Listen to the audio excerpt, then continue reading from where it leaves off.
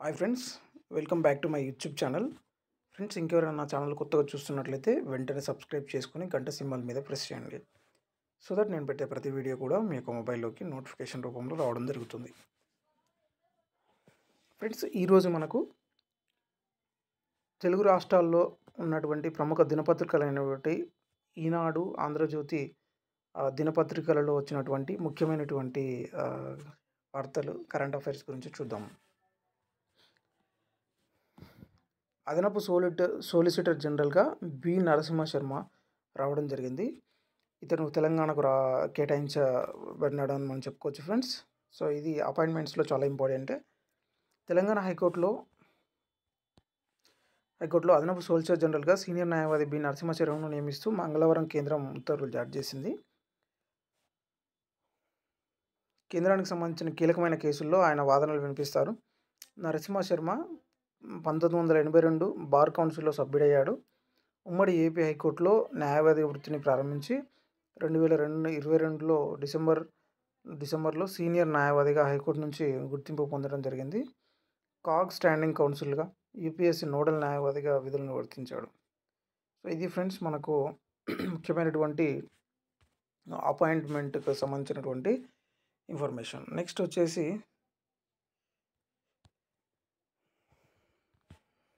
UGC fellowship ఆర్థిక సాయం అయితే పెరిగింది ఫ్రెండ్స్. ఇది యూజీసీ అంటే మీ అందరికి తెలుసు. ఎవరైతే మనకు పీజీ కంప్లీట్ అయిందో వారికి అంటే పిహెచ్డి చేసే రీసెర్చ్ చేసే విధంగా అంటే రీసెర్చ్ ఎవరికైతే ఇంట్రెస్ట్ ఉందో వారు మనకు యూజీసీ నెట్ ఎగ్జామ్ రాయాల్సి ఉంటుంది. సో ఈ ఎగ్జామ్లో క్వాలిఫై అయితే మనకు మొదటగా జేఆర్ఎఫ్ మొదట రెండు సంవత్సరాలు జేఆర్ఎఫ్ తర్వాత సీనియర్ ఎఫ్ ఎస్ఆర్ఎఫ్గా మనకు ఎలిజిబిలిటీ ఉంటుంది ఫ్రెండ్స్ సో దీనికి యూజీసీ వాళ్ళు కొంత అమౌంట్ అనేది మనకు ఇస్తారు. అదే అంటున్నాడు. ఇంతకుముందు మనకు నెలకు థర్టీ వన్ థౌజండ్ ఇచ్చారు. ఇప్పుడు దాన్ని థర్టీ సెవెన్ థౌజండ్గా మనకు పెంచడం జరిగింది అంటున్నారు. ఎస్ఆర్ఎఫ్కు ముప్పై ఏడు వేలు ఉండే. సో ఎస్ఆర్ఎఫ్కు ముప్పై ఐదు వేలు ఉండే. దాన్ని నలభై రెండు వేలకు పెంచడం జరిగింది. DS కొరాటి D S Kothari commission post doctoral ఫెలోషిప్కు నలభై వేల నుంచి యాభై నాలుగు వేల వరకు మూడేళ్ళు ఇవ్వగా దాన్ని యాభై ఎనిమిది వేల నుంచి అరవై ఏడు వేలకు పెంచడం జరిగింది. ఈ రెండు వేల ఇరవై మూడు జనవరి ఒకటి నుంచి ఈ పెంపు వర్తిస్తుందని యూజీసీ పేర్కొంది అని చెప్పేసి మనకు ఇవ్వడం జరిగింది. చాలా గుడ్ న్యూస్ ఇది. ఎవరైతే రీసెర్చ్ చేయడానికి ఇంట్రెస్ట్ చూపుతున్నారో వారైతే కంపల్సరీ చేయండి ఫ్రెండ్స్. ఎందుకంటే ఇక్కడ మనకు ఫెలోషిప్ అనేది మనకు పెరిగింది. సో దీనివల్ల చాలా ప్రయోజనాలు కూడా ఉన్నాయి. నెక్స్ట్ వచ్చేసి స్వలింగ వివాహాల చట్టబద్ధతకు నో అని చెప్పింది మనకు నిన్న సుప్రీంకోర్టు. నిన్న దాదాపు చాలా వరకు ఈ, సుప్రీంకోర్టులో ఈ యొక్క జడ్జిమెంట్ ఇవ్వడం జరిగింది ఫ్రెండ్స్. చాలా వరకు వాదనలు దీని మీద నడిచాయి. ఇక్కడ మీరు చూస్తున్నారు గాజాలో దారుణం. చాలా ఇప్పుడు ఇంతకుముందు మనకి ఇజ్రాయెల్కి మనకు పాలస్తీన పాలస్తీనా గాజాలో మనకు చాలామంది చనిపోతున్నారు. ఎందుకంటే మనకు ఇజ్రాయెల్ అనేది క్షిపణుల దాడి విధ్వంసం అనేది చేస్తుంది. ఇక ప్రత్యేక వివాహ చట్టం అంటే ఏంటి? దానికి సంబంధించినటువంటి డీటెయిల్స్ ఒక కాన్సెప్ట్స్లో కావాలంటే ఈ యొక్క ఆర్టికల్ చూడండి ఫ్రెండ్స్. సో అంతేకాకుండా ముప్పై నాలుగు దేశాల్లో స్వలింగ సప సంపర్కం అనేది మనకు అనుమతి ఉంది చట్టబద్ధత ఉంది అని చెప్పేసి అంటే మన ప్రపంచంలో ముప్పై నాలుగు దేశాలకు స్వలింగ సంపర్కానికి సంబంధించిన మ్యారేజెస్ సంబంధించి చట్టబద్ధత చేశారంట ఫ్రెండ్స్. కానీ మన దేశంలో చేయలేదు. అదే అంటున్నాడు. ఇక తీసుకున్నట్లయితే కరెంట్ అఫైర్ తీసుకున్నట్లయితే ఓకే ఫ్రెండ్స్ ఇక్కడ మనకి ఐక్యరాజ్య సమితిలో భారత శాశ్వత ప్రతినిధిగా ఐక్యరాజ్య సమితిలో భారత శాశ్వత ప్రతినిధిగా అరిందం బాగ్జీ రెండు వేల ఇరవై మూడు నాడు మనకు ఇరవై మూడు సంవత్సరానికి అపాయింట్మెంట్ అవ్వడం జరిగింది. అరిందం బాగ్జీ అక్టోబర్ పదమూడున నియమితులయ్యారు. రుచిరా కాంబోజ్ స్థానంలో ఈ నియామకం జరిగింది. బాగ్జీ పంతొమ్మిది వందల తొంభై ఐదు బ్యాచ్ ఐఎఫ్ఎస్ అధికారి ఇప్పటి వరకు విదేశీ వ్యవహారాల శాఖ అధికార ప్రతినిధిగా ఉన్నాడు.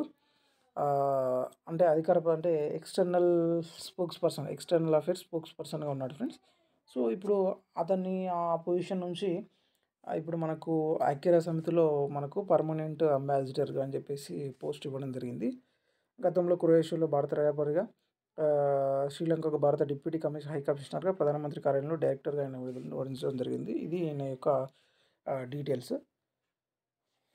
అంతేకాకుండా లాస్ ఏంజెల్స్‌లో లాస్ ఏంజెల్స్ 2028 లాస్ ఏంజెల్స్‌లో ఒలింపిక్స్‌లో క్రికెట్‌ను అధికారికంగా చేర్చడం జరిగింది. అఫీషియల్‌గా మనకు క్రికెట్ ఆటను మనకు అఫీషియల్‌గా ఇంక్లూడ్ చేశారు ఫ్రెండ్స్. ఇక్కడ మనకు 2028 లాస్ ఏంజెల్స్‌లో జరగబోయేటువంటి ఒలింపిక్ గేమ్స్‌లో.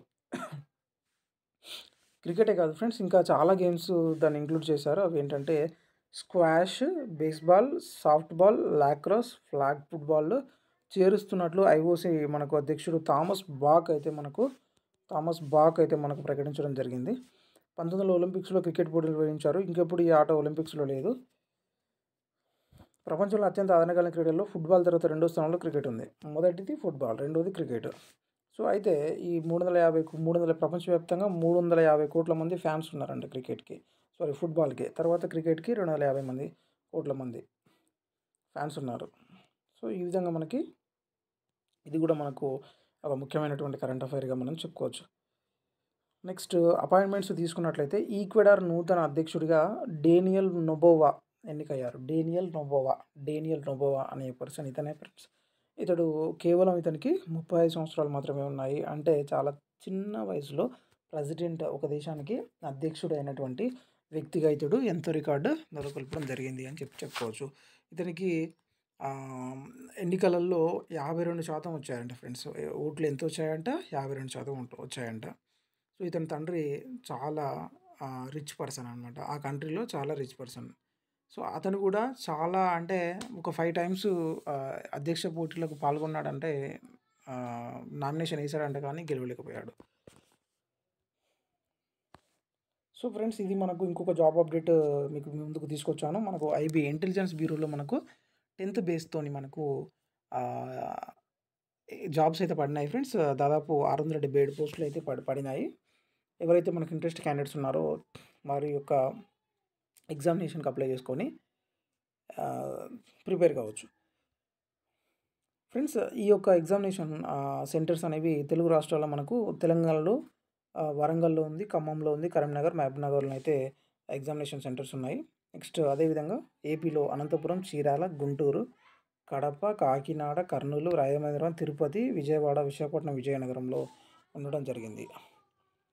ఫ్రెండ్స్ ఇంకా మనకు ఈ ఎగ్జామ్ అనేది చాలా బాగుంటుంది ఫ్రెండ్స్. ఇక్కడ మనకు హైదరాబాద్‌లో మొత్తం పోస్టులు వచ్చేసి 17 పోస్టులు అయితే 15 పోస్టులు అయితే మనకు కేటాయించడం జరిగింది అని చెప్పి ఇవ్వడం జరిగింది.